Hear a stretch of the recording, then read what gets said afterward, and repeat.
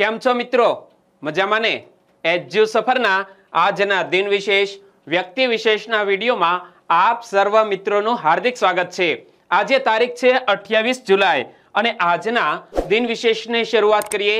એ પહેલા એક નાનકડી વાત, જે નવા એજ્યુ સફર સાથે જોડાતા જાય છે એ મિત્રો માટે. અમારી એક નવી મોબાઈલ એપ્લિકેશન છે, જેનું નામ છે એજ્યુ સફર પ્રો. અને એના ઉપર તમને જે કરંટ અફેર અને દિન વિશેષનો વીડિયો ભણાવવામાં આવે છે, તો એની ટેક્સ્ટ ફાઇલ તમે જો વાંચવા ઈચ્છો છો, તો નીચે ડિસ્ક્રિપ્શનમાં લિંક આપી દીધી છે. ત્યાં જઈ એજ્યુ સફર પ્રો તમે ડાઉનલોડ કરી લેજો, જેથી કરીને તમને જો આ રિવિઝન કરવાની ઈચ્છા થાય, તો રિવિઝન કરી શકો. અને હા એજ્યુ સફર પ્રો મોબાઈલ એપ્લિકેશન ઉપર જુદા જુદા કોર્સ પણ લોન્ચ કરવામાં આવ્યા છે. એમાં એક કોર્સ છે આ દિન વિશેષ અને કરંટ અફેરના વિડીયોનો એમાં અમે ડેઈલી ત્રીસ જેટલા પ્રશ્નોની મોક ટેસ્ટ અપલોડ કરીએ છીએ. પરંતુ એના માટે તમારે વાર્ષિક ચાર્જ ચૂકવવો પડશે ત્રણસો ને પાસઠ રૂપિયા અને એક વર્ષનો તે સબસ્ક્રિપ્શન ચાર્જ છે એટલે એક દિવસનો એક રૂપિયો થયો.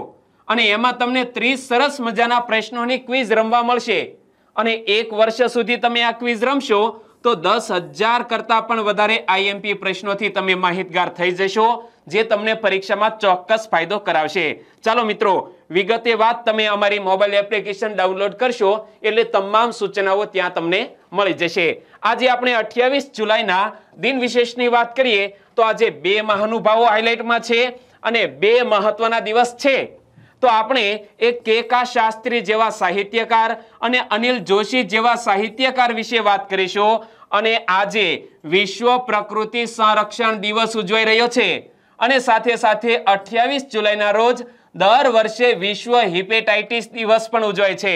અને મિત્રો, આ બંને મહત્વના દિવસો એટલા માટે અગત્યના છે કે આપણે બધા જાણીએ છીએ કે વિશ્વ પર્યાવરણ દિવસ ક્યારે ઉજવાય છે, વિશ્વ પૃથ્વી દિવસ ક્યારે ઉજવાય છે, વિશ્વ જળ દિવસ ક્યારે ઉજવાય છે, આ તમામ બાબતો ખ્યાલ છે. પરંતુ પરીક્ષામાં આવો પ્રશ્ન પૂછાય કે વર્લ્ડ નેચર કન્ઝર્વેશન ડે એટલે કે વિશ્વ પ્રકૃતિ સંરક્ષણ દિવસ ક્યારે ઉજવવામાં આવે છે તો આપણે માથું ખંજવાળવાનો વારો આવે. તો એક વખત તમે આ દિન વિશેષની શ્રેણી એક વર્ષ સુધી અનુસરો, ત્યાર પછી કોઈ પણ મહત્વનો દિવસ, કોઈ પણ મહાનુભાવ એવા નહીં હોય કે જેના વિશે તમે જાણતા નહીં હોવ.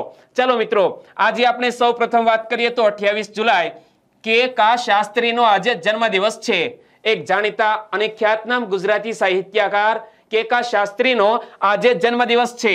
કેકા શાસ્ત્રીનો જન્મ અઠ્યાવીસ જુલાઈ ઓગણીસો ને પાંચના રોજ જુનાગઢના માંગરોળ મુકામે થાય છે. કોઈ પણ સાહિત્યકાર હોય, તેમનો મિત્રો જન્મસ્થળ ખાસ યાદ રાખજો. કેકા શાસ્ત્રીનો જન્મ ક્યાં? જુનાગઢ પાસેના માંગરોળ મુકામે. અને આ સાહિત્યકારનું પૂરું નામ શું છે? કેશવરામ કાશીરામ શાસ્ત્રી. શું? કેશવરામ કાશીરામ શાસ્ત્રી તેમનું પૂરું નામ છે. પરંતુ તેમની મૂળ અટક કંઈક જુદી છે. કઈ છે? બાંભણિયા પરીક્ષામાં પ્રશ્ન પૂછાયો. મિત્રો, કે કેકા શાસ્ત્રીની સરનેમ શું છે? અટક કઈ છે? તો બામભણિયા અને તેમના ઉપનામ કયા કયા છે? તો કે કાઠિયાવાડી વિદુર, વિદ્યા વાચસ્પતિ, બ્રહ્મર્ષિ મહામાહિમોપાધ્યાય તો મિત્રો, ચાર જેટલા ઉપનામ છે. આપણે કોઈ પણ સાહિત્યકાર હોય તો એક ઉપનામ કે તખલ્લુસ આપણે જોયું હશે, પરંતુ કે કા શાસ્ત્રીના ચાર ઉપનામ છે? ફરી એકવાર જોઈ લો, કારણ કે આને પણ પરીક્ષા માટે હાઇલાઇટ કરવામાં આવે છે. કાઠિયાવાડી વિદુર કોને કહેવામાં આવે છે? કેકા શાસ્ત્રીને? વિદ્યા વાચસ્પતિ, બ્રહ્મર્ષિ અને મહામાહિમોપાધ્યાય, એ પણ કેકા શાસ્ત્રીનું જ ઉપનામ છે. અને તેઓ એક ચરિત્ર લેખક સંશોધક, સંપાદક, લેખક અને વ્યાકરણના પ્રખર જ્ઞાતા હતા. એટલે કે તેઓ બહુમુખી પ્રતિભાના ધની હતા કેકા શાસ્ત્રી અને તેઓએ માધ્યમિક શિક્ષણ માંગરોળ ખાતે મેળવ્યું અને વર્ષ ઓગણીસો ને બાવીસમાં મેટ્રિક પરીક્ષા તેઓએ પાસ કરેલી. અને તેમના પિતાજી પાસેથી વ્યાકરણ, કાવ્ય અને વેદાંતનું અધ્યયન તેમણે કર્યું હતું. મિત્રો, એ વખતે મેટ્રિક પરીક્ષા પાસ કરવી તો અત્યારે કદાચ આપણે જે કોલેજમાં જ્ઞાન ધરાવતા હોઈએ ને, એ વખતના જે મેટ્રિક પાસ હોય ને, એ પણ મિત્રો અદ્ભુત જ્ઞાનનો ભંડાર હોય છે. અત્યારે આપણે બજારે જઈશું, તો કોઈક એવા પણ મિત્રો જોવા મળશે, વયોવૃદ્ધ લોકો, કે જેઓ એ સાત ચોપડી ભણ્યા હશે, દસ ચોપડી ભણ્યા હશે, પરંતુ એમનું જ્ઞાન અદ્ભુત હશે. એટલા માટે આ ગુણવત્તા એ વખતે પણ સારી હતી. સાચો ને? આગળ વાત કરીએ કેકા શાસ્ત્રી વિશે. તો વર્ષ ઓગણીસો ને પચીસમાં માંગરોળ ખાતે હાઈસ્કૂલમાં સંસ્કૃત અને ગુજરાતી ભાષાના શિક્ષક તરીકે તેઓએ સેવા આપી હતી. ઓગણીસો ને સાડત્રીસમાં ગુજરાતી વર્નાક્યુલર સોસાયટીમાં સંશોધક તરીકે તેમની નિમણૂક કરવામાં આવી હતી. અને તેઓ પુરાતત્વવિદ પણ હતા અને તેમણે કચ્છમાં લખપત તાલુકામાં જૂના પાટગઢ પાસેના પહાડમાં આવેલી ખાપરા કોડિયાની બે ગુફાની શોધ વર્ષ ઓગણીસો ને સડસઠમાં કરી હતી. તો અહીંથી પણ એક સરસ મજાનો પ્રશ્ન પૂછાય કે કચ્છમાં લખપત તાલુકામાં જૂના પાટગઢ પાસેના પહાડમાં ખાપરા કોડિયાની બે ગુફાઓની શોધ કયા સાહિત્યકારે કરી હતી? એવો પરીક્ષામાં પ્રશ્ન પૂછાય તો આપણે યાદ રાખીશું કે આ ગુફાઓની શોધ કોણે કરી હતી? કેકા શાસ્ત્રીએ. કયા વર્ષે? ઓગણીસો ને સડસઠમાં. અને ખાપરા કોડિયા. મિત્રો, આવું ખાપરા કોડિયા વિશે તમને કઈ જુનાગઢ સાથે સંલગ્ન યાદ હોય ને તો એ પણ નીચે કમેન્ટ બોક્સમાં લખજો. અને વર્ષ ઓગણીસો ને પંચ્યાસીમાં તેમને ગુજરાતી સાહિત્ય પરિષદના પ્રમુખ પણ નીમવામાં આવ્યા હતા. અને તેમણે બસો ચાલીસ જેટલા પુસ્તકો અને પંદરસો જેટલા લેખો લખ્યા હતા. વિપુલ સાહિત્ય સર્જન કરેલું છે કેકા શાસ્ત્રીએ? અને તેમના સાહિત્ય સર્જનની વાત કરીએ, તો ભાષાશાસ્ત્ર અને વ્યાકરણ સાથે સંલગ્ન તેમની સાહિત્ય કૃતિઓ કઈ કઈ છે? તો કે અક્ષર અને શબ્દ. ગુજરાતી ક્રમિક વ્યાકરણ, અનુશીલન, ગુજરાતી ભાષા લેખન, ગુજરાતી વાગ વિકાસ, ગુજરાતી રૂપરચના, ગુજરાતી ભાષાશાસ્ત્ર અને ગુજરાતી વ્યાકરણ શાસ્ત્ર આ તેમના ભાષાશાસ્ત્ર અને વ્યાકરણ સાથે સંલગ્ન તમામ ગ્રંથો છે. અહીં એક જુઓ કે રાષ્ટ્રીય જીવન ચરિત્ર ગ્રંથાવલી એમના દ્વારા કેકા શાસ્ત્રી અને તેમનું એક છે કુમકુમ અને તિલક. તો અહીં ઇમેજમાં જોઈ શકો છો કેકા શાસ્ત્રી, તેમની આ એક સાહિત્ય કૃતિ અને તેમણે ઇતિહાસ વિષયક પણ ઘણા બધા સાહિત્ય સ્વરૂપો આપ્યા છે. તો ગુજરાતી ભાષાનો વિકાસ અને અર્વાચીન ગુજરાતી ભાષાનું સ્વરૂપ. મિત્રો, ખાસ અગત્યનું પુસ્તક છે કે ગુજરાતી ભાષાનો વિકાસ અને અર્વાચીન ગુજરાતી ભાષાનું સ્વરૂપ. તો એ પણ કેકા શાસ્ત્રીનું અને તેમણે લખેલા નાટકોની વાત કરીએ તો અજય ગૌરીશંકર, બીજી એકાંકીઓ અને ખાનદાની લોહી. એમના ચરિત્ર ગ્રંથો કયા કયા છે? આપણા કવિઓ, આપણા સારસ્વતો એ કેકા શાસ્ત્રીના ચરિત્ર ગ્રંથો છે. અહીં જુઓ કે પાયાનો સંસ્કૃત ગુજરાતી શબ્દકોશ તો તેનું સંપાદન પણ કેકા શાસ્ત્રીએ કરેલું છે. તેમણે સાહિત્ય ક્ષેત્રે ખૂબ જ ઊંડું ખેડાણ ખેડેલું છે. અને તેમણે સંસ્કૃતમાં કેટલા ગ્રંથોની રચના કરી છે. એમાં જોઈએ સૌંદર્ય પદમ નવરત્ન સ્રોતમ, અમરકોશ વનૌષધિ કોશ સિદ્ધાંત રહસ્યમ એ તેમના સંસ્કૃત ગ્રંથો છે. એમાં આ એક ખાસ યાદ રાખજો, સૌંદર્ય પદ્યમ. અને એમણે કેટલાક પુસ્તકોનો અનુવાદ પણ કરેલો છે. એમાં પ્રેમની પ્રસાદે સંક્ષિપ્ત ભરત, નાટ્યશાસ્ત્ર, મુદ્રા રાક્ષસ, કાલિદાસના નાટકો, ષોડશ ગ્રંથ અને ભાસ નાટક ચક્ર આ તમામ પુસ્તકોનો તેમણે અનુવાદ કરેલો છે. એમનું અંગ્રેજી સાહિત્ય સર્જન જોવા જઈએ તો સ્ટ્રક્ચરલ બિલ્ડઅપ ઓફ થિસિસ એ તેમનું અંગ્રેજી એક પુસ્તક છે.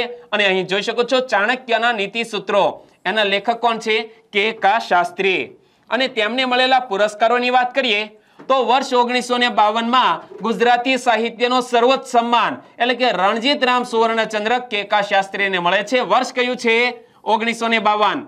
અને ઓગણીસો ને છાસઠમાં અખિલ ભારતીય સંસ્કૃત સંમેલન તરફથી વિદ્યા વાચસ્પતિની પદવી રાષ્ટ્રપતિ ડોક્ટર રાધાકૃષ્ણનના હસ્તે કેકા શાસ્ત્રીને મળેલી. અને વર્ષ ઓગણીસો ને છોતેરમાં પદ્મશ્રી પુરસ્કાર આપવામાં આવ્યો હતો અને કેકા શાસ્ત્રીનું અવસાન નવ સપ્ટેમ્બર બે હજાર છ ના રોજ થયું હતું. આગળ વાત કરીએ તો ખૂબ જ મહત્વનો દિવસ, એટલે કે વર્લ્ડ નેચર કન્ઝર્વેશન ડે આજે ઉજવાઈ રહ્યો છે. અઠ્યાવીસ જુલાઈ વિશ્વ પ્રકૃતિ સંરક્ષણ દિવસ તરીકે સમગ્ર વિશ્વમાં ઉજવવામાં આવે છે. વિલુપ્ત થતા પ્રાણીઓ, વનસ્પતિઓ, જીવજંતુઓ, વિવિધ પ્રાકૃતિક સ્ત્રોતો અને જંગલોના સંવર્ધન અને વિકાસ માટે આ દિવસ પ્રત્યેક વર્ષે અઠ્યાવીસ જુલાઈના રોજ ઉજવવામાં આવે છે. વર્ષ ઓગણીસો ને બાણુંમાં બ્રાઝિલમાં મિત્રો એક સંમેલન ભરાયું હતું, પૃથ્વી સંમેલન અને વિશ્વના એકસો ચુમ્મોતેર દેશોનું. જોહાનિસબર્ગ ખાતે પણ એક પૃથ્વી સંમેલન આયોજિત કરવામાં આવ્યું હતું અને એની અંદર આ પ્રકૃતિના સંરક્ષણ માટે સમગ્ર દેશ કટિબદ્ધ પણ થયા હતા. વૈશ્વિક સ્તરે પર્યાવરણની જાળવણી માટે યુનાઇટેડ નેશન્સ એન્વાયરમેન્ટ પ્રોગ્રામ, એટલે કે યુએનઈપી દ્વારા સમગ્ર વિશ્વમાં વિવિધ કાર્યક્રમોનું આયોજન કરવામાં આવે છે. પરીક્ષામાં પૂરું નામ પૂછાય કે યુએનઈપી નું પૂરું નામ શું થાય છે? તો United Nations Environment Programme UNEP નું પૂરું નામ થાય છે. અને અહીં વાંચો જોઈએ. વર્લ્ડ નેચર કન્ઝર્વેશન ડે ક્યારે ઉજવવામાં આવે છે? અઠ્યાવીસ જુલાઈના રોજ ઉજવવામાં આવે છે. અને વિશ્વ પર્યાવરણ દિવસ ક્યારે ઉજવાય છે? પાંચમી જૂનના રોજ. ઇમેજ જુઓ.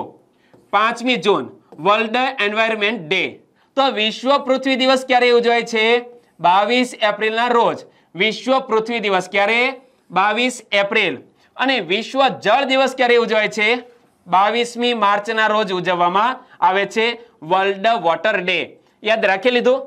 ચાલો હવે તમને પ્રશ્ન પૂછું. ચાલો, પહેલા તો આપણે કયા દિવસની વાત કરીએ? વિશ્વ પ્રકૃતિ સંરક્ષણ દિવસની વાત કરીને ક્યારે ઉજવાય છે? અરે ભાઈ, આજે ઉજવાઈ રહ્યો છે. આજે તારીખ કઈ છે? અઠ્યાવીસ જુલાઈ. અને અહીં પણ યાદ રાખવામાં એકદમ સિમ્પલ છે. આપણે પાંચમી જૂનની તો ખબર જ હોય, વિશ્વ પર્યાવરણ દિવસ. તો બાવીસ માર્ચ એટલે વિશ્વ જળ દિવસ અને બાવીસ એપ્રિલ એટલે વિશ્વ પૃથ્વી દિવસ. આરામથી યાદ રહી જશે. આગળ વાત કરીએ. તો આજે અઠ્યાવીસ જુલાઈ આધુનિક ગુજરાતી સાહિત્યના લેખક એવા અનિલ જોશીનો પણ આજે જન્મદિવસ છે. ઇમેજમાં જોઈ શકો છો. અનિલ જોશી જન્મ અઠ્યાવીસ જુલાઈ ઓગણીસો ને ચાલીસના રોજ ગોંડલમાં જન્મ. અને પૂરું નામ શું છે? અનિલ રમાનાથ જોશી. એ અનિલ જોશીનું પૂરું નામ છે. તેઓ ગુજરાતી કવિ, નિબંધકાર અને કટાર લેખક છે. તેમણે પ્રાથમિક માધ્યમિક શિક્ષણ અનુક્રમે ગોંડલ અને મોરબીમાંથી લીધો હતો. મિત્રો, અહીં એક શબ્દ આવે છે અનુક્રમે. આ અનુક્રમેનો અર્થ શું સમજવાનો? તો કે પ્રાથમિક શિક્ષણ તેમણે ગોંડલમાંથી લીધું અને માધ્યમિક શિક્ષણ તેમણે મોરબીમાંથી લીધું. એકદમ સિમ્પલ છે, પરંતુ જે વિદ્યાર્થીઓને ખ્યાલ ન હોય, એ થોડા મૂંઝાય એટલે સ્પષ્ટતા કરી દીધી.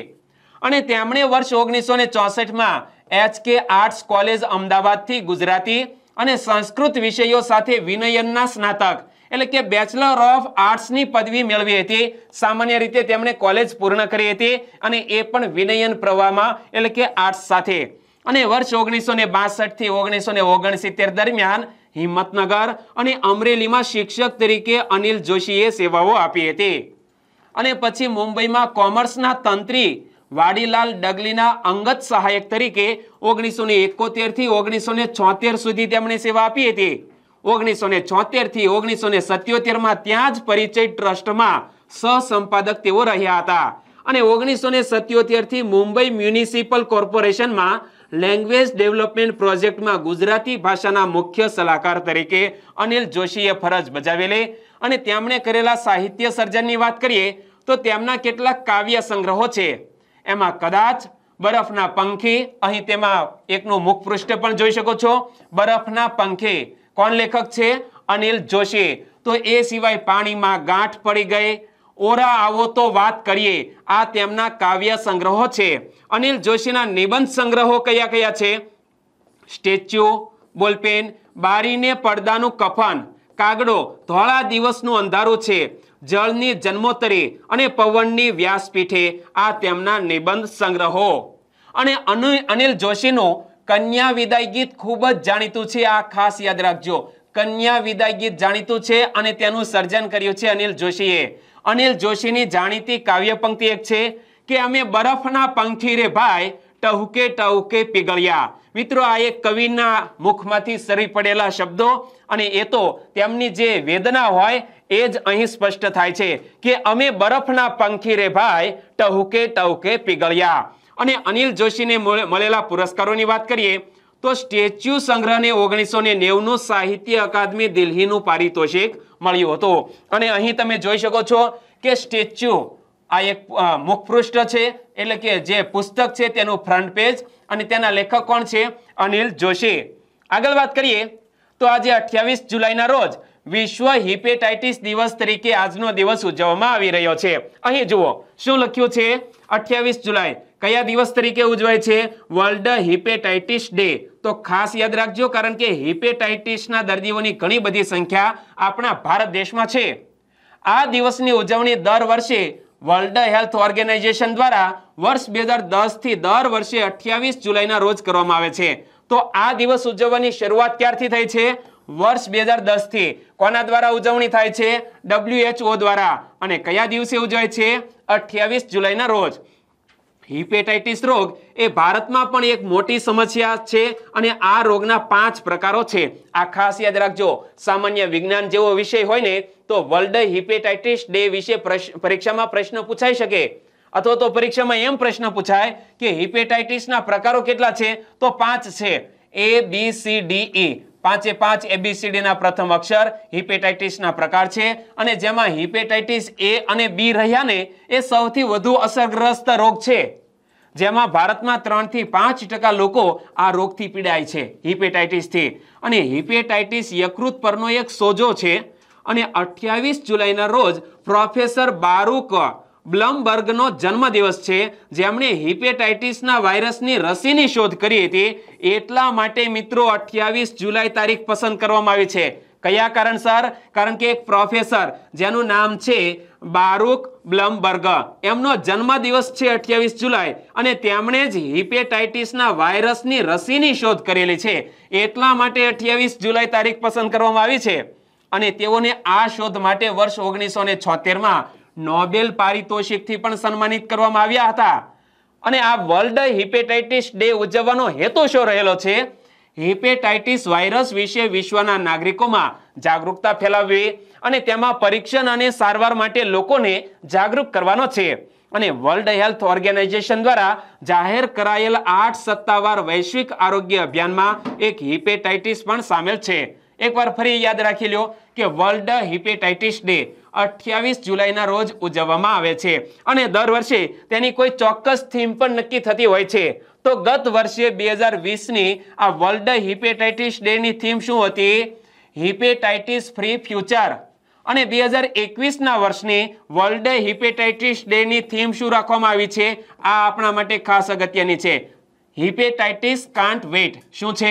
હિપેટાઇટિસ કાન્ટ વેટ એ આ વર્ષની થીમ છે. ઓકે, ગત વર્ષની થીમ પૂછાય તો હિપેટાઇટિસ ફ્રી ફ્યુચર અને આ વર્ષની, ચાલુ વર્ષની થીમ પૂછાય તો યાદ રાખીશું, હિપેટાઇટિસ કાન્ટ વેટ અને જ્યારે આ દિવસ ઉજવાય છે ડબલ્યુએચઓ દ્વારા, તો ડબલ્યુએચઓનું પૂરું નામ શું થાય છે? World Health Organization with spelling યાદ રાખીએ. અને WHO નું મુખ્યાલય ક્યાં આવેલું છે? સ્વિટ્ઝરલેન્ડની કેપિટલ જીનીવા મુકામે.